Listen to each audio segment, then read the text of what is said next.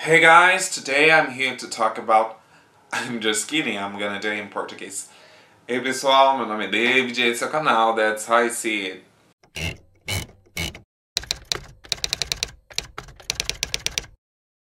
Bom, gente, hoje eu estou gravando com uma nova câmera, né? Não, tão, não é nova, né? É uma antiga que eu tinha aqui em casa, mas eu quero ver se vai ficar melhor a imagem. Bom, é, hoje eu estou aqui para falar a respeito de, dos livros que eu comprei agora, recente. E toda vez que eu resolvo gravar, né, o cachorro começa a latir, os carros começam a passar, então se vocês ouvirem aí no fundinho barulho de cachorro, barulho de carro, já sabem o que é, né? Bom, é, eu quero falar com vocês a respeito das aquisições que eu fiz agora recentes, né, de livros.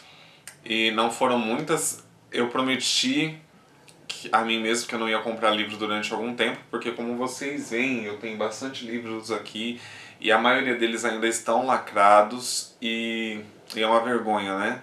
Porque eu deveria comprar um livro só quando eu terminar de ler outro, né? Mas o impulso é maior.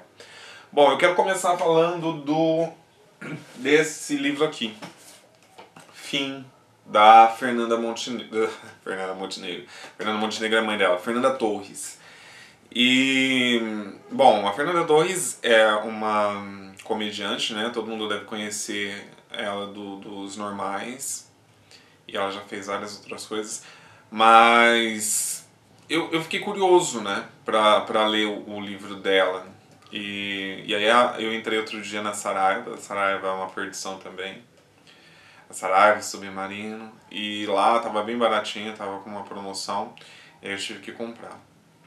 Bom, é esse livro aqui, ele não é muito grosso, né? Chama-se Fim, e eu fiquei curioso para ler pela capa e, e, e por ser escrito pela, pela Fernanda Torres, né?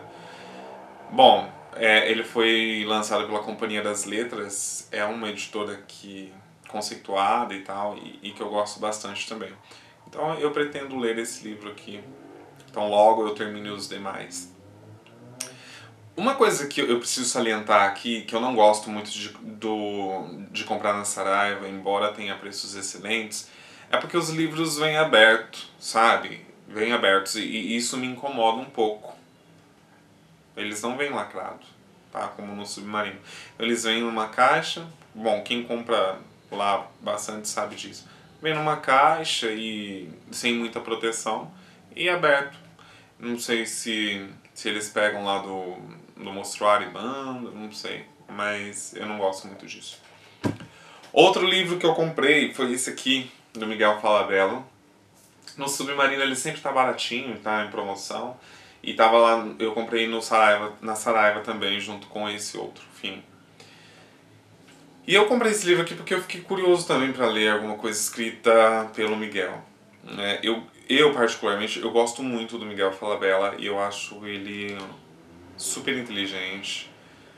É, eu já assisti algumas entrevistas dele e eu acompanho não tão de perto, né? Mas assim, eu acompanho o trabalho dele. E, e eu gosto muito do Miguel, eu acho ele muito inteligente. E eu comprei esse livro aqui. Eu comecei a ler já, mas. Né, claro que eu não terminei. É, chama Vivendo em Voz Alta. Eu achei interessante e resolvi comprar. Esse aqui, que eu comprei também, da Lauren Oliver, eu não sei, gente, porque eu nunca precisei falar essa palavra em português. Então também não sei se eu vou falar corretamente. Requiem, Requiem. Ah, não sei. É esse livro aqui. Eles poderiam ter colocado um, um nome mais, né? Bom, enfim. Esse livro aqui é o último da trilogia do Delírio, tá? Eu não tenho o livro do meio, mas, gente, esse, quando eu li o, o Delírio, nossa, eu fiquei, eu fiquei muito apaixonado pela história e. E sabe que me lembra bastante dos jogos vorazes? É, eu não sei qual foi escrito primeiro, também não pesquisei, mas tem muitos elementos iguais. Eu sei que eu li esse livro primeiro do, primeiro do que os Jogos Vorazes, e eu acredito que ele foi lançado antes. Bom, não sei. Mas ele, ele trata de um, de, um, de um período em que o amor ele é, hum, ele é combatido. E combatido assim, eles descobrem que na verdade o amor é uma doença, né? Então chega em um determinado ponto, em um determinado momento da, da, da vida das pessoas, acho que com 18 anos, eles têm que passar por uma intervenção e, e aí eles recebem uma, alguma coisa no organismo que aniquila o amor, né? E é muito legal.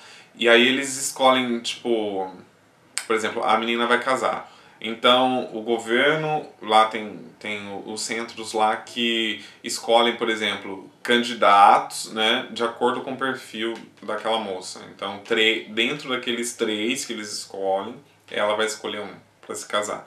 Mas não, não, é uma sociedade que não tem amor e tal, é, sabe? Porque eles acham que o amor é uma, é uma coisa ruim, na verdade. E é muito interessante essa história aqui. Então aí eu li esse Aí eu li o Pandemônio e agora tem o esse aqui, o último. Muito legal. Eu recomendo que vocês leiam. E o último que eu comprei foi esse box aqui do Divergent, da série lá do Divergente. É, eu comprei. Eu não vou falar que, nossa, eu tô super ansioso para ler esse livro, porque eu não me interessei, na verdade, tá? Muita gente falou, muita gente falou bem do livro, mas eu não me interessei em ler. Eu comprei por impulso também, porque estava barato. Outro dia entrei no Submarino e ele estava R$ 39,00, R$ 39,90. É o box em, inglês. Eu não abri ele, né? Mas aproveitando que eu estou gravando o vídeo, vamos abrir para ver como que é. Eu não gosto também muito dessas edições, porque elas são bem fraquinhas, sabe? Mas vamos ver. Porque é. É aquela. Aquela edição econômica americana. Mas é bem econômica mesmo. A gente reclama das edições aqui do Brasil, mas as edições eles são. Bom, a série foi escrita pela Veronica Roth e Começa aqui no Divergent, Insurgent, Allegiant, que eu acho que é o último. Bom, ó, realmente a qualidade não é legal, né, desses livros. É um paperback e ele é um pouco mais grosso. Um pouco mais grosso que aqueles papéis de jornal, sabe? Mas até que é bonitinho o acabamento da capa, né? Também não poderia esperar muita coisa por 39 reais. Né? Okay.